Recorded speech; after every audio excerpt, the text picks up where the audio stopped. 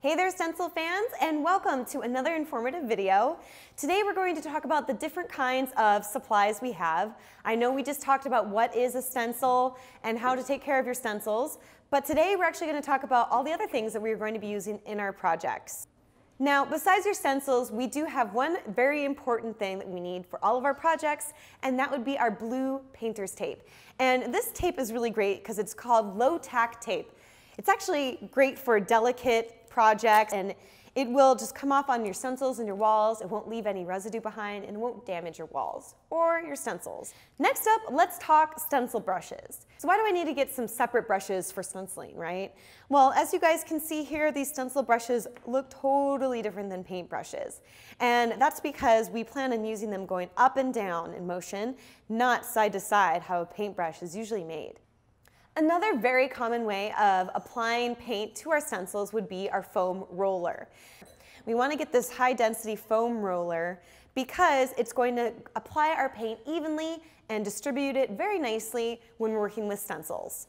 Later in this course, we'll go over different ways of finishing off and making your stencils shine. And we're going to be using some fun, different type of techniques, and we're going to be using some sponges. And these sponges, as you guys can see, it's two very different ones. This one kind of looks like a brain or a coral. That's really cool. And this one is definitely more soft and almost reminds me of like the kind of sponges you use in the kitchen. And we're gonna find out later on, like I said, the difference between using this one and this one and what kind of different type of techniques and styles we're gonna get when we use them with a stencil. Okay, so this isn't the prettiest of supplies, and as you guys can see, I really have been using this for a lot of my projects already but it's really useful. As long as you have some kind of container to put your paint in and roll on your foam roller, this is what you'll need. Next up, I wanted to show you guys the different stencils that I will be using. This one is a cardboard stencil, and some of the stars I started to pop out, and the other ones are not popped out. And it's really simple. I just apply very little pressure, and I just take out the stencil, and it's not going to harm if I just take my time I have a lot more stars to go, but I want to let you guys know that this is totally able to be used for stenciling projects. However, when you start to apply paint, paint is wet and this cardboard will start to warp. So if you want to use cardboard, that's fine and you're totally welcome to. Just know that this may be a one or two use if you're lucky type of thing. Sometimes when you get stencils, you notice that they come in a very long piece of plastic, right? And I didn't know when I first started out that I, I you can cut the stencils. I know that sounds like a no-brainer, but you totally can. As you guys can see, I've already cut this out of a bigger shape and it makes it so much easier to put it on you know, a pillow or something small. You don't have to take this big sheet out. Do what you want. And also, this one is really fun because as you guys can see, it is a pattern and this one is great because it included some guidelines. So when you want to repeat this pattern, you know exactly where your stencil is going to line up. And that's really important to making a beautiful repeating pattern stencil. So it's really fun to see that on these kinds of newer stencils. But of course, if you don't have that, you can still line up your stencils just fine. It's just a little bit more work. Next up for your supply list, let's talk about paint. For every type of project, there's a different kind of paint that's going to be a companion for that. Wallpaper is just such a mess. So why wouldn't you want to look into different kinds of options that are easy to clean up and paint over? So, you know, of course, stenciling is a great option for that. But I do really want to recommend using flat interior paint.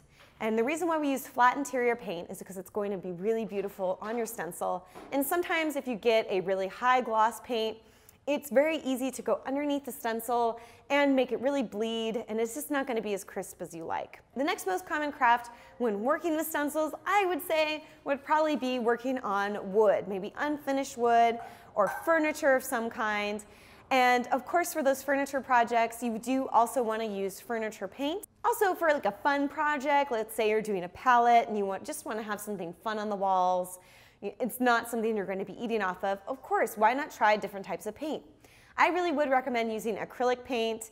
It's going to be really fun and go on great. And as long as you're not eating off of it, it's going to be just fine. Chalkboard paint is also a great option for all the things we've already talked about. Fabric and wood work great with chalkboard paint. So another very common stenciling project would be stenciling on fabric. And of course we want to use fabric paint And that's really wonderful and you know it's great when you're doing washing because it doesn't come off. However, I do also want to recommend that chalkboard paint is another great thing if you're doing a big couch or another huge fabric that happens to be furniture. The next one I'm going to talk about is stenciling on glass. And stenciling on glass is kind of a tricky thing because most of the people think like, oh, stenciling on glass, you must be like, you know, drinking glass or some kind of food product. And of course, we don't want to put any type of paint on there because it's going to come off in the dishwasher or it might come off when you're eating it on it and that's just a huge mess. So I would only recommend using paint on things that are just display when you're working with glass material. And I would recommend if, for example, if you're stenciling on a mirror or perhaps a, or perhaps a door, um, you can go ahead and use any type of material you'd like because no one will be eating off of that. Well, at least I would hope not. So go ahead and think about using spray paint or acrylic paint on furniture items that happen to have glass or a mirrored surface. For anything else, remember, I think that the way to go would probably not be using paint at all. If you want a stencil with glass, think about etching. Okay guys, that's about it for my little tips and tricks on the most popular paints for projects. Next up, I want to talk about different types of paper. And there, I know that there's a lot of scrapbookers out there. In fact, I happen to be a scrapbooker too. So I use a lot of stencils for my projects. And it's really important to remember that when you're working with paint and paper, of course things are going to get a little bit warped. So I would recommend using a hard cardstock when I'm working with stenciling. And of course remember to use a very minimal paint, and that's how you're going to keep your stencil looking crisp. Now, let's say you wanted to get a little bit artsy and use, I don't know, watercolor. You are totally welcome to use watercolor on your stencils. However, it will bleed a little bit. So think about what you, the effect you're kind of going for. I think that stenciling bleeding can be a really beautiful thing, but it's really all about the technique that you want to go for. If you want something more crisp, remember to use a thick paper and minimal paint. And if you want something a little bit more creative and artsy, you can use any type of paper, but just know that stenciling is going to bleed when you add a little bit more water to it. But also, did you guys know that there's actually stencil paint out there? I didn't know about that. And I actually just got some and it's really fun to play around with. And you can buy them online. Amazon is a really great option. And in fact, there's a really awesome brand called Folk Art Paints. And they have a wonderful array of stencil paints that are perfect for pretty much any project. You can also use ink. It's really simple and it's just like, you know, making stamps and all that fun stuff. You would just take a sponge, pop it into your ink pad and then dab it onto your stencil. And you're gonna get a really, really soft, almost antique type of look. And it's gonna have crisp edges too. I don't know about you guys, but where I live, street art is a huge thing. If you, you can't even walk down a street without seeing some type of mural or a new Banksy piece that popped up overnight. What these artists do is they use stencils, homemade, and they use spray paint for on the go and, you know, avoiding those coppers as quick as they can. So I also wanted to talk about using spray paint with your stenciling. We're not going to do too much here with stenciling and spray paint just because we have so much to cover, but we will be using it from time to time. And spray paint is a great option for, of course, getting a stencil done quick. But I just wanted to let you guys know that the farther away that you have your stencil, that's where you're gonna get your crisp line. The closer up, your line is gonna get blurry. However, I wouldn't recommend breaking the law and doing street art around your area. Okay guys, I know we had a lot of information in this video and I promise I only have a couple more things before we get started.